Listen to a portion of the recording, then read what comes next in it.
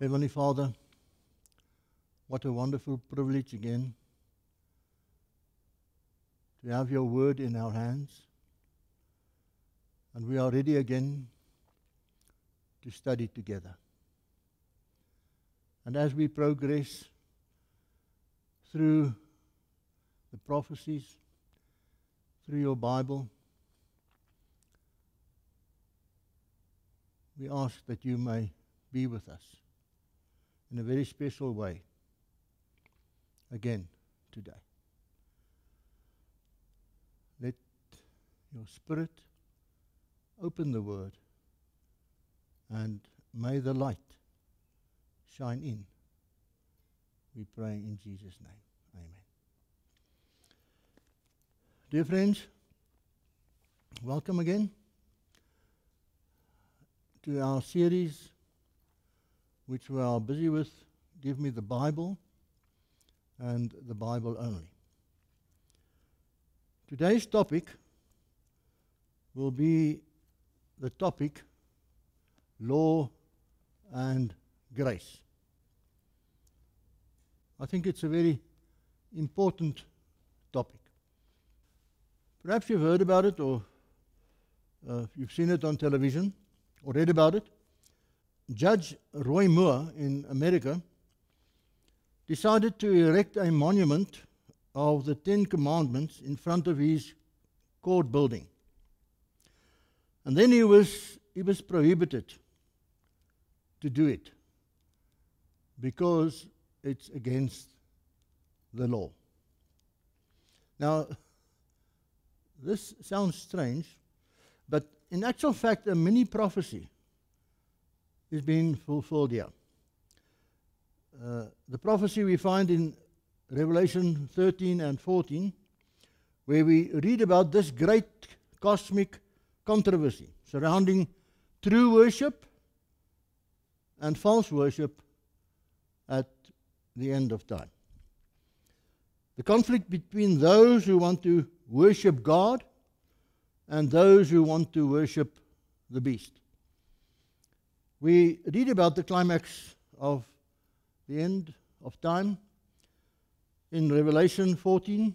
We're back to the three angels' message.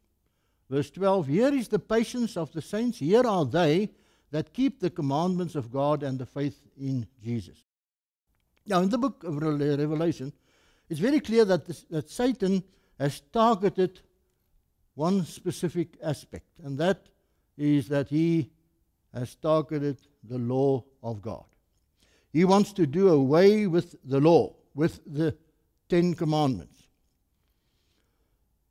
Now, we live in a time of rebellion against any form of law. Nations today are actually powerless against gangs roaming the streets in the neighborhoods and even in the cities. Murder, theft, chaos has actually become a sign of our time. And, and just when you think that you've now seen the ultimate, you open the newspaper the next morning and something much more shocking confronts you. In fact, there are two things which Satan wants to do away with. Not only the law, there's something else as well. He wants to do away with obedience to the Ten Commandments, the law. But then, listen carefully. He also wants to do away with the Bible truth regarding righteousness by faith alone, salvation through the blood of Jesus Christ alone. He also wants to do away with that. Now, in Revelation 13, we read about the little horn, power, and how the beast managed to get the church to the point where the plain gospel had been put aside and in its place a false teaching of salvation. A teaching of salvation through works and faith has been established. Now, you've, you've already heard this, perhaps even from a pulpit. The law has been done away with. You've heard this The law has been nailed to the cross. Perhaps you've heard this. We are no more under the law, we are now under grace. And in the New Testament, we have a new law, namely love. Well, wasn't it Jesus himself that said that we should love God and our neighbor? Yes, it was. Let's read it. John 13, 34. A new commandment I give you that you love one another. And in uh, Mark 12, 30, 31, we read, And you shall love the Lord your God with all your heart, and with all your soul, and with all your mind, and with all your strength. This is the first commandment. And the second is like, namely, this you shall love your neighbor as yourself. Yes, he did say it. But did you know that, that he was in actual fact quoting the Old Testament when he was saying that? Let's read. And you shall love the Lord your God with all your heart, and with all your soul, and with all your might. So, what he was saying was not really new. He's quoting the Old Testament. It, it, it was new for the people who were listening to him. Now, in the Greek, there's two words, both translated with the word new. The first Greek word is the word neos, neos, which means new, as if it has never existed before. But then there's another word. The word is kainos, meaning new for the individual.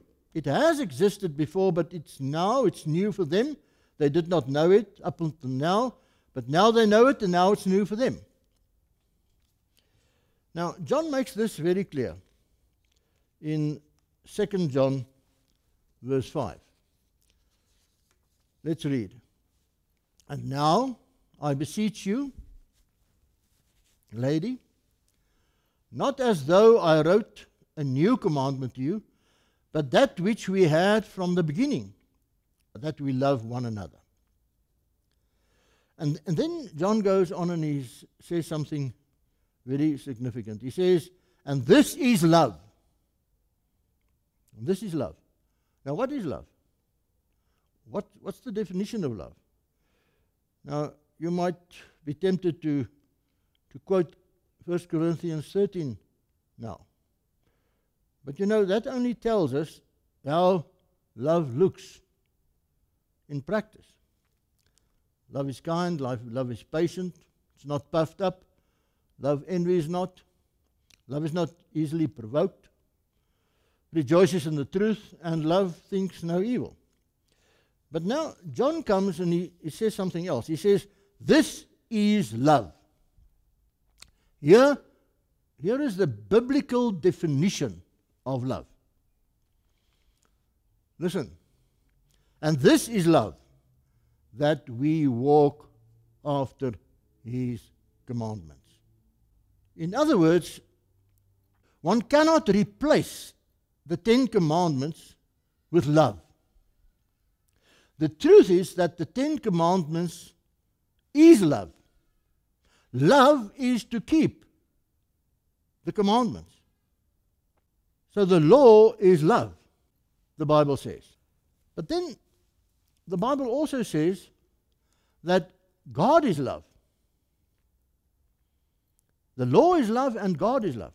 Now, from your school days, you will remember that if you've got an object here that's equal to an object there, and uh, it's also equal to an object there, then it means that those two objects there are also equal to each other, isn't it? So if law is love and God is love, then it means that the law, the Ten Commandments, is in actual fact a description of who God is. The Ten Commandments reveals the love and the character of God. Paul actually made it very clear in Romans 13, verse 8. Owe no man anything but to love one another, for he that loves another has fulfilled the law. Which law is he talking about? Well, the next verse tells us.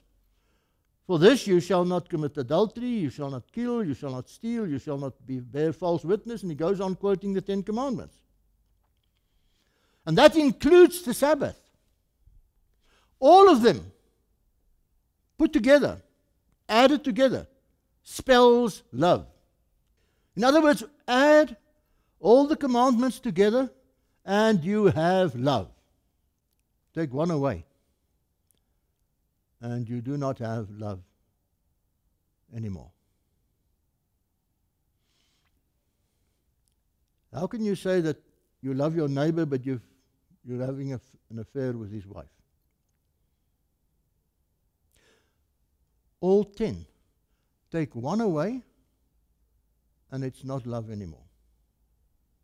Now, now we can actually understand why the Antichrist has got a much easier work to do. He need not do away with all the commandments. He only needs to do away with one. Take one away, and it's not love anymore. Now, James confirms this. For whoever shall keep the whole law and yet offend in one point, he is guilty of all. Why? Because if you break if you break one, it's not love anymore. Think about it, dear friends. Just think about it. Nobody really has a problem with the law. It's, it's in actual fact very strange to hear people say that there's been done away with the law. Because if that's the case, the question arises Am I now free to break the law? No, they say you're not free to break the law. But where's the logic? Where's the logic now? If the law, if the law is gone, but I'm not allowed to break it, then it's not gone. Or is it? Or is there something wrong with my brain now? You see, the, the problem is not the law. You can go to any place on earth and they will tell you uh, you may not kill somebody. It's against the law. You may not steal, and everybody says yes. You may not commit adultery, and everybody's happy and says amen. But the moment, the moment you get to the fourth commandment, which says you must keep the Sabbath holy, all of a sudden you get this reaction.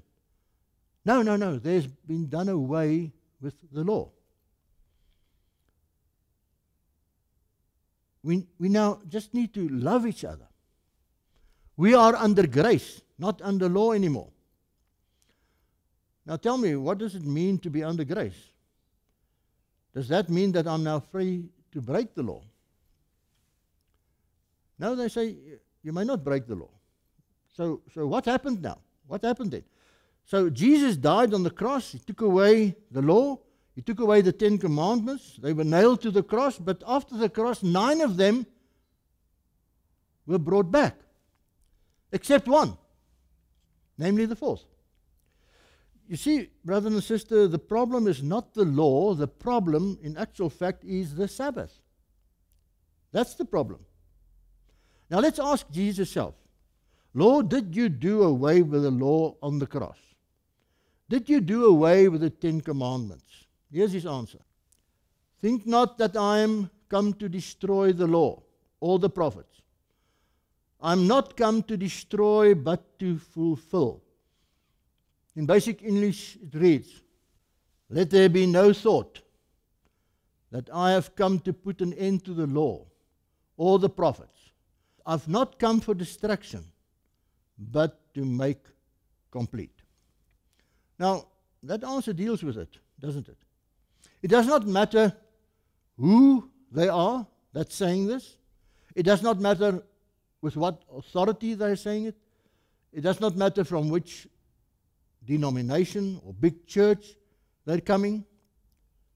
Do not even think that I came to destroy, to destroy the law. Do not even think that I came to destroy the law. I'm not come to destroy, but to fulfill. You see, we by nature cannot keep the law. Jesus came to fulfill the law in my place, in your place. He died for us. He rose from death. He ascended to heaven. At present, He's preparing a place for you and for me in heaven. And He will come back to take us home. And the moment I accept Him as my Lord and Savior, I can be part of His kingdom because He fulfilled the Ten Commandments in my place. That which the first Adam could not do. Now, the next question if that's the case now, that, that Jesus fulfilled the law in my place, am I now free to break it? Do not even think about it. Let there be no thought in that direction. I tell you the truth, Jesus says.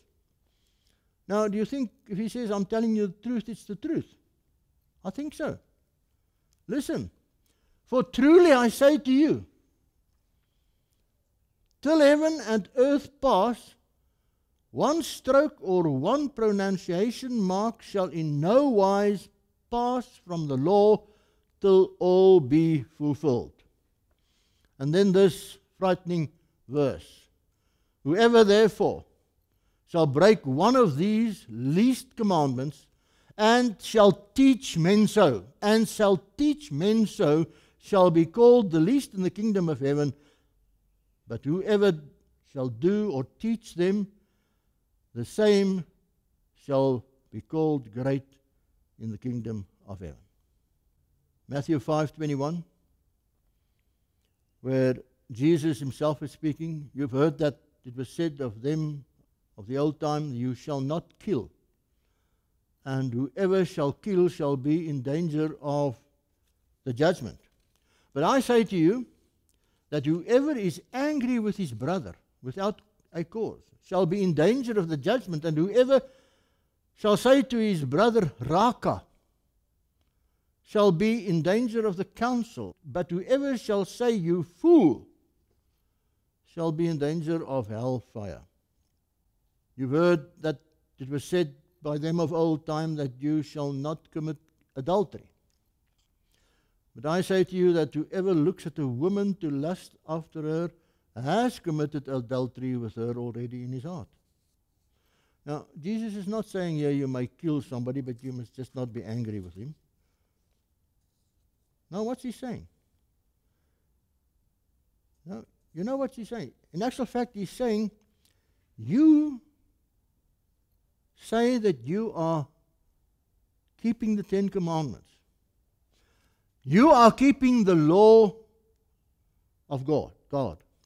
And therefore, God now has the obligation, has the responsibility to save you because you're keeping the law. But let me tell you frankly when you call your brother a fool, you are guilty of murder. Now, is Jesus doing away with the commandment, you shall not kill? Of course not. In actual fact, he's, he's alleviating it. He is intensifying the law. He's making it impossible for anybody to say, Lord, I have kept your law, and now you can save me so that I need not have to be saved by faith and grace alone. He makes it impossible for anyone to say that. Now, perhaps you, must, you may think, but why, why do we only look at these easy texts. Why do we not go to those difficult texts on this subject. Are there some of them? Yes, there are. So let's go there. There are a few very difficult texts concerning the law and grace. They come from Paul. Now, to help us in this regard, I, need, I think we should try and get a few keys to open these texts. Just to realize at the end that they're not that difficult at all. Yes, let's, let's admit that Paul made a few very strange comments in this regard. And when you take Paul's words out of its context, it might just sound that Paul says there's done away with the law. There's been done away with the Ten Commandments. Did you know that even Peter battled at times to understand uh, what Paul was saying? Peter was a common fisherman, Paul was this learned scholar. Perhaps he could speak 10 or 12 languages. And therefore, listen to Peter and account that the long suffering of our Lord is salvation. Even as our beloved brother Paul, also according to the wisdom given to him, has written to you, as also in all his letters, speaking in them of these things in which are some things hard to understand. Some things are hard to understand. Poor Peter. Yes, there, there are three such difficult texts.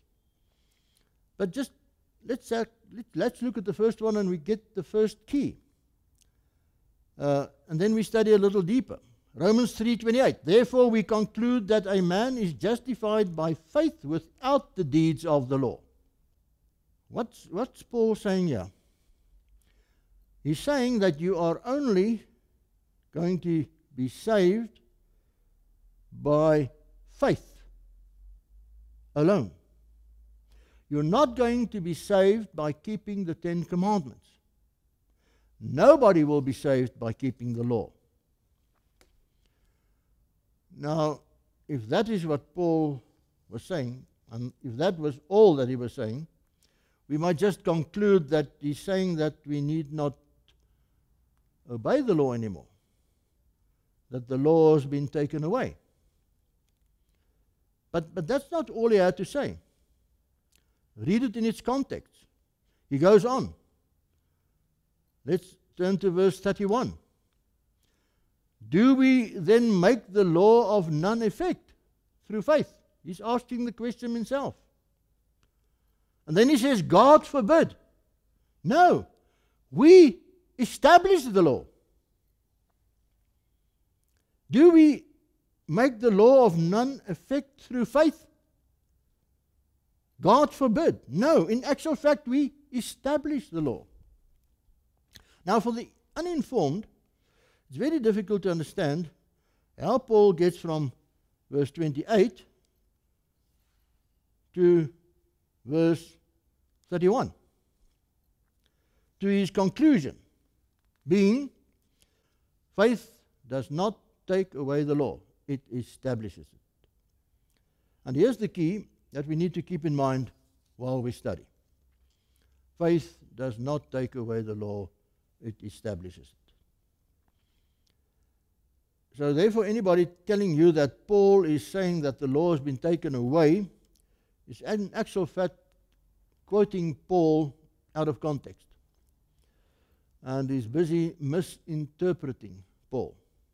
Do not believe them. We must get to his conclusion. That's the only way that we won't be confused by the false prophet. For the moment, the moment you get to the fourth commandment and the Sabbath, you will hear the words, There has been done away with the law.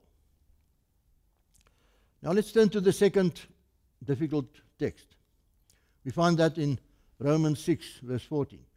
For sin shall not have dominion over you, for you are not under the law, but under grace. Now, there you have it. Again, on the surface, it looks as if Paul is saying there's been done away with the Ten Commandments. But now, remember, he gave us the key himself. He said, Grace does not take away the law. Now, what is Paul then in, factual, in, in actual fact saying here? If you're not under the law, but under grace, what does it mean? What does it mean to be under grace? Well, I don't know whether you've been there. Perhaps you have. I've been there. Uh, stopped. Sir, sorry. This is a 80 kilometer zone. Your speed limit was 95. You've broken the law. Do you agree? Yes, I do. I've broken the law. And then you see the man starting writing the ticket. At that point, I am under the law. I've broken the law. But then his eyes fall on a Bible lying at the back on the seat, and he's asking me, Where are you going? I tell him, Well, I'm busy with the Bible outreach. And uh, he stops and he says, Well, uh, in that case, uh, won't you just please ride carefully? You may go. And he starts to tear that ticket. Am I still under the law? Yes, of course I'm still under the law. The, the law is still there. It's not been taken away. But in actual fact, I am now also under grace. He, he need not have done that. I did not deserve it. I was guilty. But I need not pay. He tore my ticket. Now I'm under grace, and because of that, what do I do now? I put my foot on the pedal and I drive away as fast as I can. Is that what I do? No. No, why not? Why not, my dear friends? Because he set me free. I do not want to disappoint him. He tore my ticket. He died for me on the cross. He gave his life for me. He gave me eternal life. Is there any way in which I now deliberately am going to break his law? No, as a matter of fact, I drive away at 70 kilometers an hour. Grace establishes the law. Now let's turn to our last and most difficult text. We find that in Colossians. Colossians 2, verse 14. Blotting out the handwriting of ordinances that was against us, which was contrary to us, and took it out of the way, nailing it to his cross. So there you have it now. The law was nailed to the cross. We need not keep it anymore. Wait a minute. Wait a minute. Paul gave the key. Grace does not blot out the law, so this text must mean something else. Jesus said, said, I did not come to do away with the law. So, what is this? What is it? Let, us read this text in its context. What does it mean to read a text in its context? Well, it means that you read a few verses before this one, and you even, even read a few verses after this text. Now, first, let's read on. Let's turn to verse 16. Let no man therefore judge you in meat or in drink or in respect of an holy day or of a new moon or of the Sabbath days. What? How does it seem to me as if it's becoming even more difficult? Let no man judge you on the Sabbath. It seems as if everything we've said up until now is cancelled in this one verse. But let's remember we've got a key. Paul says grace does not abandon the law. Jesus said he did not come to destroy the law. So, what was Paul saying here? Uh, is Paul contradicting himself? No, I don't believe that. Let's, let's look at, at the text again. Let no man therefore judge you in meat, or in drink, or in respect of a holy day, or of the new moon, or of the Sabbath days. And then read the next text.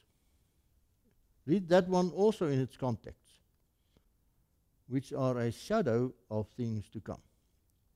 But the body is of Christ. Is Paul talking about Sabbaths that are shadows, or is he talking about Sabbaths that are not shadows?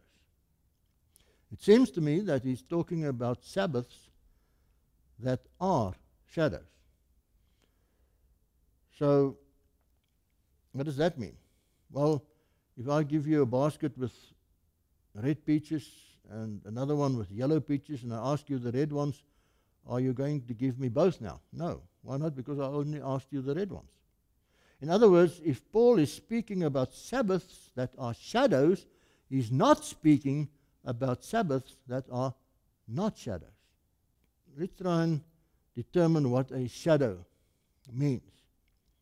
Now, for this, we need to turn in our Bibles to the Old Testament. Let's turn to Leviticus.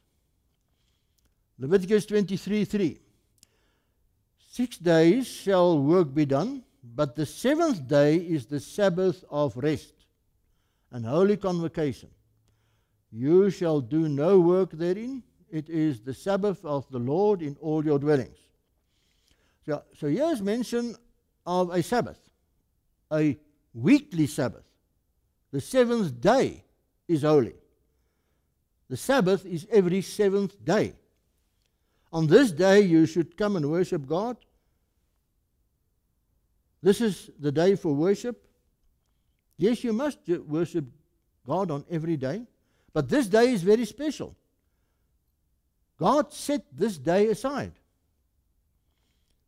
So we're referring here, well, this text is referring to the weekly Sabbath. And that Sabbath lies in the heart of the Ten Commandments, the fourth commandment. And the weekly Sabbath reminds us of the Creator God, who created the earth in six days and rested on the seventh and set that day aside for his children and for him to communicate with each other in a very special way. But now let's read also the 26th verse of Leviticus 23.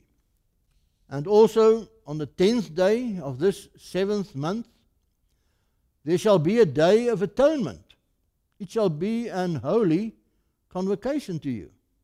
It shall be to you a Sabbath of rest.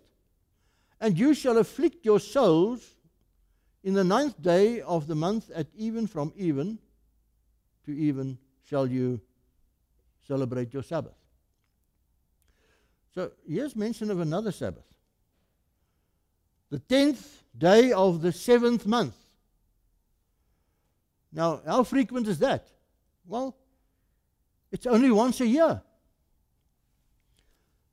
So here's mention of a yearly Sabbath in contrast to the weekly Sabbath. So we've got two Sabbaths. The weekly reminding us of creation. What does the yearly Sabbath remind us of? Well, read, let's read further. Let's read verse 27. Also, on the tenth day of this seventh month, there shall be a day of atonement. It shall be an holy convocation for you, and you shall afflict your souls and offer an offering made by fire to the Lord.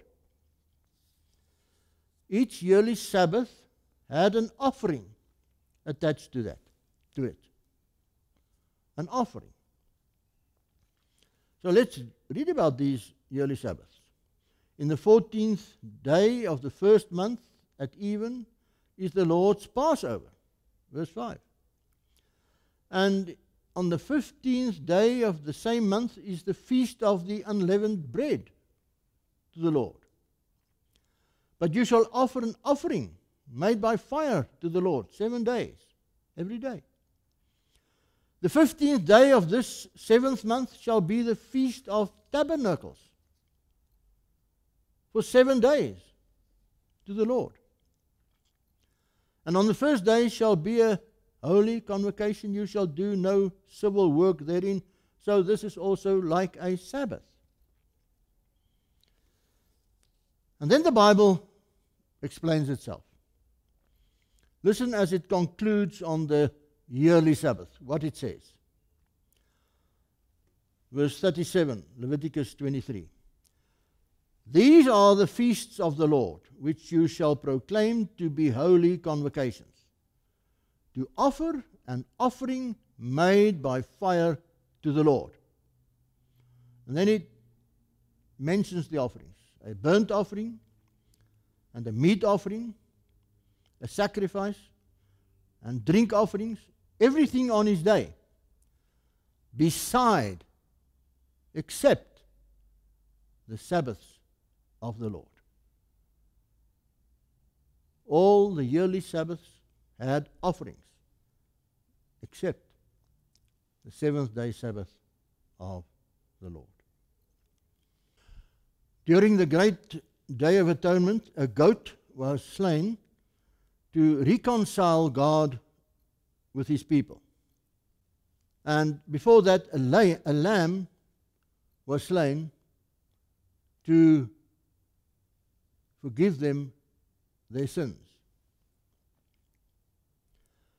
Now, that lamb had but one purpose, and that was to point to the future, to the Lamb of God that would come to die for the sins of the people. That lamb was a shadow of the Lamb that would come, namely Jesus Christ.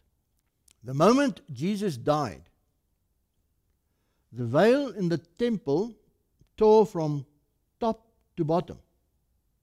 The most holy was revealed, and sacrifices and burnt offerings came to an end. We do not need to sacrifice anymore. But tell me, just think for a moment about this.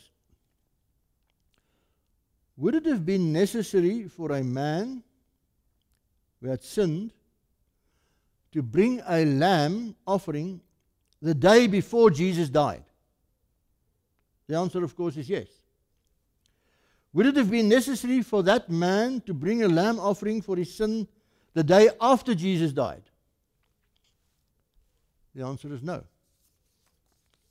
But now, was it a sin to steal a day before Jesus died? Yes. Was it a sin to steal a day after Jesus died? Yes. There's the difference.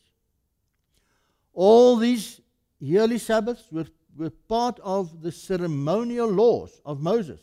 They were all shadows pointing to the Lamb of God that will come. At the cross, they lost their meaning. That is what was nailed to the cross. The ceremonial laws of Moses, in contrast to the moral law of God. So there's two Sabbaths the weekly, referring back to creation, the yearly, that was a shadow pointing forward to Christ that would come. So, actually, brothers and sisters, these texts are not that difficult when you read them in context. Uh, when there's therefore when it therefore seems as if Paul is saying that there has been done away with the law, you need to ask the question: which law? Was it the moral law? Was it the ceremonial law? Uh, let's let the Bible explain this in closing, very direct to us. To us. Let's again turn to the Old Testament.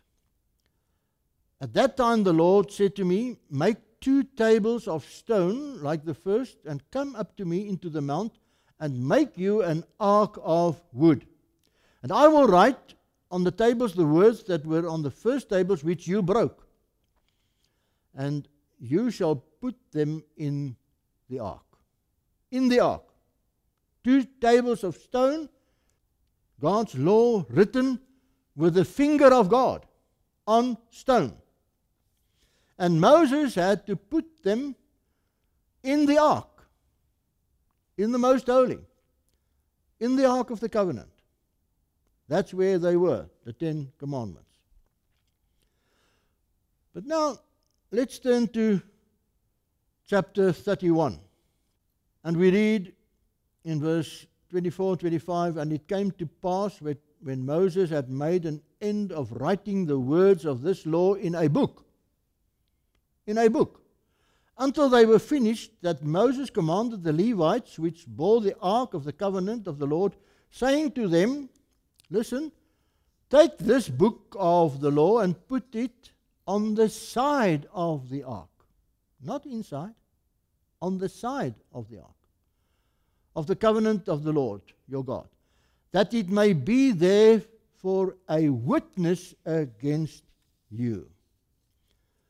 The moral law cannot change or be taken away. The ceremonial law was nailed to the cross. Moses said that this law be put on the side of the ark of the covenant to be a witness against them. Ordinances that was against us, but that is now cancelled because Jesus came to carry that penalty on our behalf. So let's go back to our difficult text. Start again. Colossians 2:13 having forgiven all your trespasses, blotting out the handwriting of ordinances that was against us, which was contrary to us, and took it out of the way, nailing it to the cross. It's quite clear, isn't it? What was nailed to the cross? The handwriting of ordinances, the ceremonial laws with all the ordinances and sacrifices and offerings attached to it. We need not offer anymore. So, in actual fact, Paul was not talking of the Ten Commandments. He's talking about the ceremonial laws that was nailed to the cross, not the moral laws, not the Ten Commandments. God cannot change. And we cannot change him. His law is his character. In actual fact, that's the mirror in which you see your own sin. If you've got a dirty spot on your face and you stand in front of the mirror, uh, you can stand there for days on end. That spot will not disappear. The work of the mirror is only to tell you listen, there's a spot on your face, there's water, go and wash yourself. And Paul knew that. Listen how he, he puts it. He says in Romans 7 7, I had not known sin, but by the law. The basic translation said, But I would not have had knowledge of sin if it were not for the law. So every time I look into this mirror of the law, I stand guilty before God and I know that I need forgiveness. Because it reflects my sin and I don't like what I see. Now, dear friends, thank God that my obedience to the law is not going to save me. My good works are not going to get me to heaven, and my sins are not going to get me to hell. My end destiny and your end destiny will solely depend on one question What did you do with Jesus called the Christ? How does your relationship with Him look like? He gave His all to you. What are you prepared to give to Him? How important is this relationship to you? And if He comes to you and He says to you, This is my character, here is my character. Here is my law. This is how I would like your character to look like as well. This is how I would like you to live. Keep my law. What is your answer going to be? Is it going to be, sorry, Lord, but I think the law is outdated. I think the law is no more. Even my pastor the other day said it from the pulpit. Lord, you've taken away the law at the cross. We don't need the Ten Commandments anymore. My prophet demonstrated it to us the other day. The law is no more. Thank you.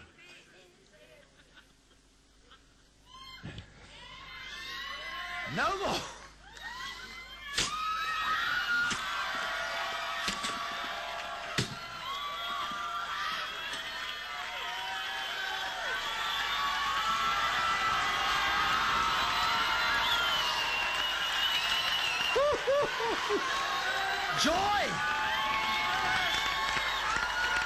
Jesus, help me. Well, can you take it?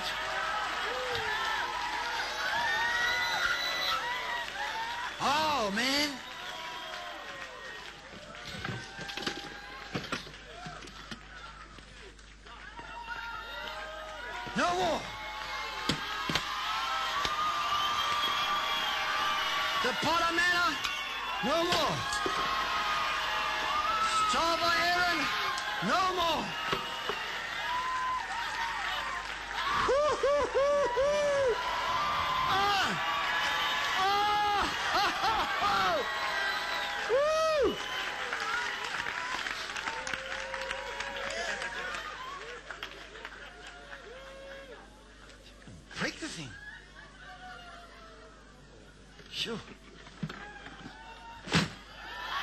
Break it. Break it. Break it. Oh my goodness. Break it. Is it break it? Ah. Obedient. When I chopped that first thing, attacking that dragon, oh, forgive me. Did you hear him saying, When I attacked that dragon? When I, I attacked that dragon, mentioning, referring to the Ten Commandments. Is that what we're going to say? Or are we going to say, Thank you, Lord, for your mercy, for your grace. What do you want me to do? As a token of my love and my appreciation, I will love you, I will worship you, and no other God. Not my assets, not my money, not my body, not my work.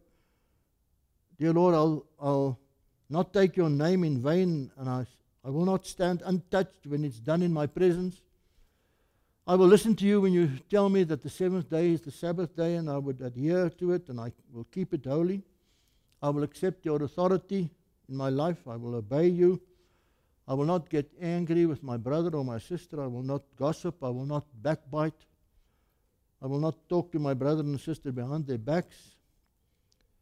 I will not look at another man's wife or another ma- wife's husband with desire. I will not tell a lie. I will not cheat anybody. I will be satisfied with what I have. That's the Ten Commandments, isn't it? Isn't it?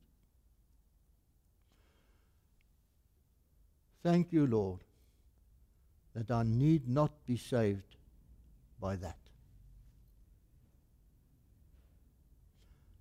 Thank you. I need the law to realize my total dependence as a sinner towards my Creator and my Savior. Thank you, Lord, for the Ten Commandments. They bring me on my knees every morning and every evening. Thank you, Lord, for your grace through which I am saved. Thank you for your law because without it, I would not need grace. Did you hear what I just said? If there's no law, dear friend, what do you need grace for? You don't need it. What do you want to do with grace if there's no law? But the Bible says without grace, I'm not going to be saved. I'm not going to heaven. Lord, I will obey.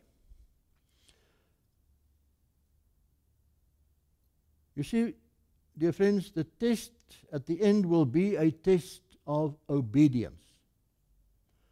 Words will not be enough. The test will be obedience.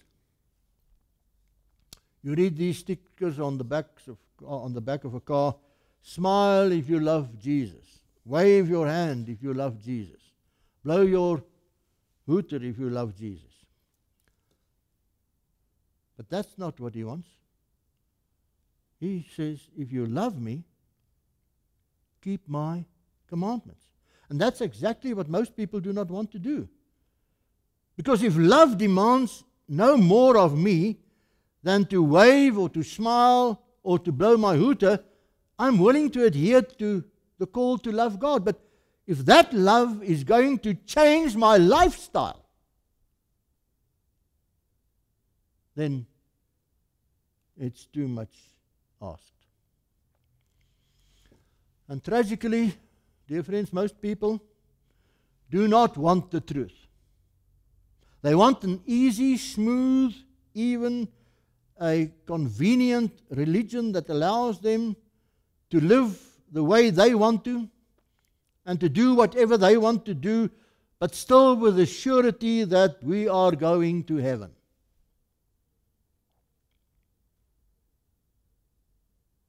There's a very harsh text in the Bible.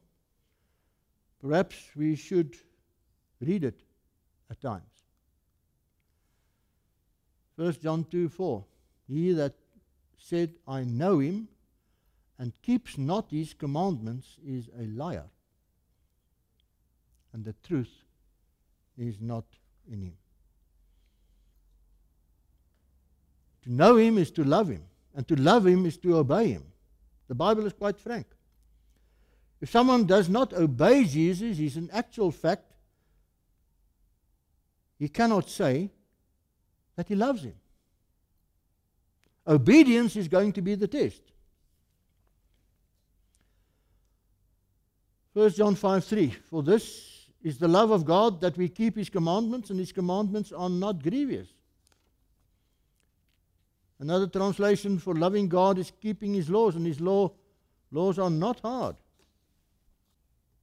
Dear friends, the Bible concludes and uh, as these final verses in it. I'm referring to Revelation 22:18. For I testify to every man that hears the words of the prophecy of this book. If any man shall add to these things, God shall add to him the plagues that are written in this book. And if any man shall take away from the words of the book of this prophecy, God shall take away his part out of the book of life and out of the holy city and from the things which are written in this book. The Antichrist wants to change everything.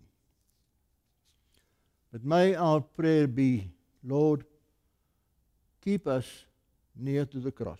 Keep me near to you, near to your law. Let me follow you wherever you may lead. Thank you, Lord, for your love. I want to love you too. What do you want me to do?